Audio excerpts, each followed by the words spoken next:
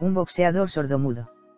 A partir de la aceptación de las normas dictadas por John Solto Douglas, marqués de Queensberry, el boxeo suavizó notablemente su práctica violenta.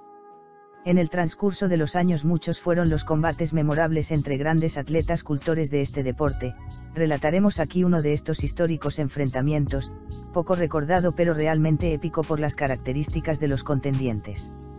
El 29 de mayo del año 1929, nace en Arezzo, hermosa ciudad toscana, Mario da Gata.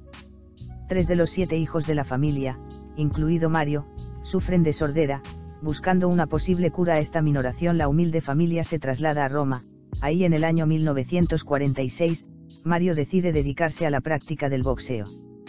Ya para el año 1955, logra el título de campeón de Europa de peso gallo, lo que le abre la posibilidad de enfrentarse al franco-argelino Robert Cohen, a la sazón campeón mundial de la categoría. El 29 de junio de 1956, al derrotar por KO en el sexto asalto a Cohen, Mario Dagata se convierte en el primer púgil sordomudo en alcanzar un título mundial de boxeo. En su récord de por vida, Mario realizó 68 combates, ganó 54, 23 por KO, perdió 11, 1 por KO, y empató 3.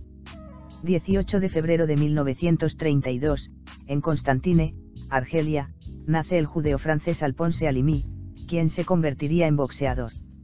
Por huir de la pobreza extrema de su familia, conformada por 13 hijos, abandonó el hogar a los 10 años de edad. Por sus logros como atleta llegó a ser designado con la Legión de Honor Charles de Gaulle e ingresó al Salón de la Fama de Deportistas Judíos en Israel. En sus peleas siempre utilizó la estrella de David en sus pantalones. Protagonizó 50 peleas profesionales logrando 41 victorias con 21 knockouts, 8 derrotas y un empate famosa su pelea con el ídolo mexicano Raúl Ratón Macías por la unificación del título mundial de peso gallo, refriega que ganó. Noche del 1 de abril del año 1957, pelea por el Campeonato Mundial de Peso Gallo, en París, los contendientes, Mario Dagata, actual campeón y Alponce Alimí, retador. A la altura del cuarto asalto, estalló un foco colocado sobre el cuadrilátero, lo que ocasionó una suspensión temporal de la pelea por más de 10 minutos, en este intervalo fortuito el boxeador francés fue llevado a los camerinos mientras el italiano, quien hasta este momento era favorecido en las tarjetas, quedó inquieto al borde del cuadrilátero esperando la reanudación del enfrentamiento.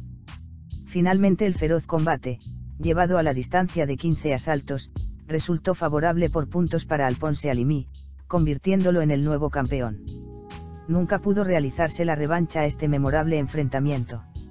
En el año 2006, el 12 de noviembre, falleció Alponce Alimi, a los 74 años de edad.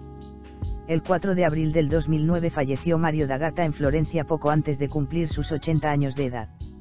Con una infancia marcada por la pobreza, estos gladiadores supieron, gracias al deporte, superar las dificultades y convertirse en ídolos, escribiendo páginas gloriosas en las crónicas pugilísticas.